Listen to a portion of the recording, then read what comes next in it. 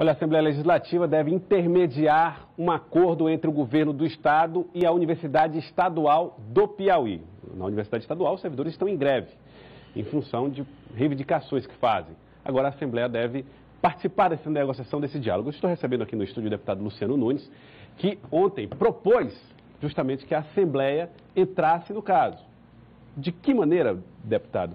É, a, Assembleia pode contribuir nessa discussão. Boa tarde, seja bem-vindo ao Jornal do Piauí. Boa tarde, boa tarde a todos que fazem a TV Cidade Verde, boa tarde a todos que nos assistem através da TV Cidade Verde. Bem, a UESP é, vem já de algum tempo, os seus professores e servidores e alunos reivindicando algumas ações, alguns pontos junto ao governo do Estado. Pois bem, todos nós lembramos que há cerca de 15 dias atrás nós tivemos um ponto de, de estrangulamento, vamos dizer assim, que foi aquela famosa lei do enquadramento, a Lei 6.772, que é, inseriu a UESP nesse contexto, o que iria ferir de morte a instituição, podendo ocasionar inclusive fechamento de cursos e ascensão dos professores. Extinção, extinção de cargos, né? Cargos seriam. É, o número de cargos de professores e também engessaria a carreira desses professores. Eles não podiam mais ascender na carreira. Pois bem, o governo reconheceu o erro, reconheceu o equívoco, é, enviou uma nova lei e esse problema foi resolvido. No entanto, este não era um único problema. Outras demandas já existiam. Nós temos na UESP hoje é, centenas de bolsistas que estão há três meses sem receber, pessoas que precisam é, disso para subsistir, para se locomover, né, para poder é, exercer suas atividades é, dentro da universidade.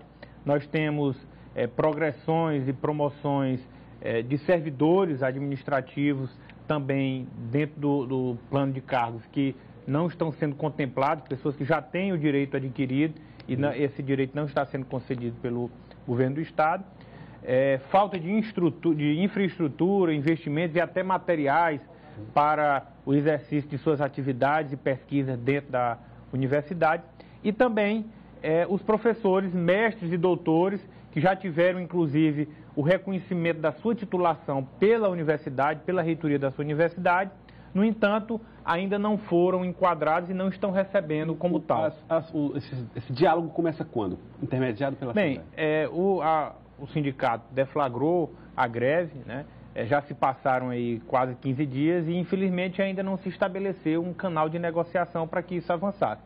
É, diante dessa situação, foi que ontem nós aprovamos um requerimento no plenário da Assembleia, é, provocando uma reunião onde a Assembleia vai intermediar este conflito. Né? É importante que o governo do Estado sente, é, analise esses pleitos e diga o que é possível. Todos nós somos sensíveis à situação financeira que o país passa e aqui no estado do Piauí não é diferente. Mas é importante que se dê os passos. Né? Alguma coisa há de ser feita, alguma coisa certamente pode ser feita. Alguns desses pontos não representam grandes quantias o, o, que não possa ser resolvido imediatamente. O que não puder ser resolvido imediatamente, que o Estado faça uma programação, um planejamento e possa dizer à instituição, ao ESP, aos seus servidores, aos professores, como e quando vai poder fazer. Então foi por isso que nós é, pleiteamos essa reunião, a Assembleia vai funcionar como uma mediadora, o líder do governo, o deputado João de Deus, é, também tem se colocado à disposição, está fazendo essa interlocução junto ao governador e ao secretário Franzé e Merlong, nós esperamos que até amanhã nós tenhamos uma sinalização por parte do governo. Agora, deputado, o senhor é do PSDB e o, o, o, falando aí em recursos, dessa dificuldade financeira, a Prefeitura de Teresina, o prefeito Firmino Filho, uh, assinou um contrato com o Banco Mundial para um empréstimo da ordem de 88 bi, milhões de, de dólares para ser investido aqui no estado do Piauí, na cidade de Teresina. Como é que esses investimentos devem acontecer? Quando esse dinheiro vai estar disponível?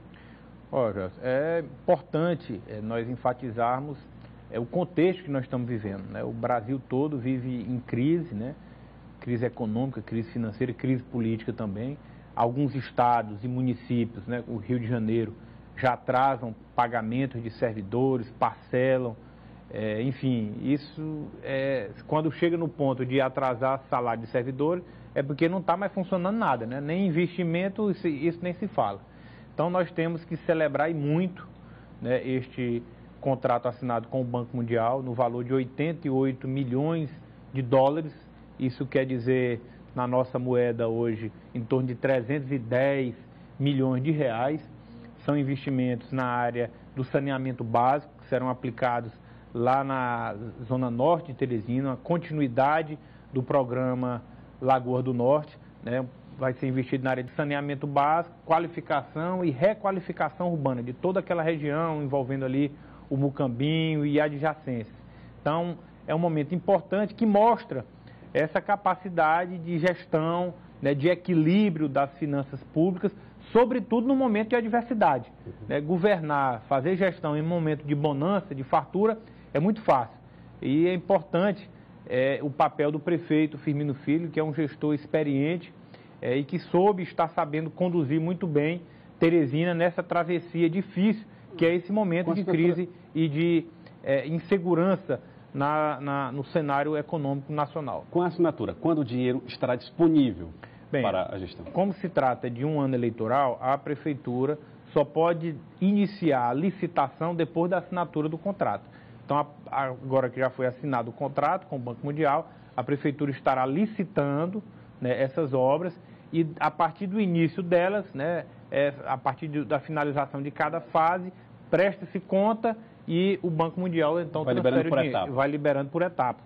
É, terá, iremos iniciar, a prefeitura irá iniciar ainda este ano essas obras, mas elas devem se estender uh, até cinco anos de execução de, do projeto como um todo. Portanto, são 88 é, milhões de dólares para serem utilizados ao longo de cinco anos. Ao longo de cinco anos. A partir de agora, né? a partir da, da licitação e execução das primeiras etapas, esse, esse desembolso já inicia. Tá certo. Eu queria agradecer o deputado Luciano Nunes, que falou com a gente a respeito da situação da UESP, Universidade Estadual do Piauí, e também sobre esses investimentos no, do, com dinheiro do Banco Mundial num contrato feito pela Prefeitura de Teresina para investimentos ao longo de cinco anos. Muito obrigado pela presença aqui no Jornal do Piauí. Eu é que agradeço a oportunidade. Obrigado.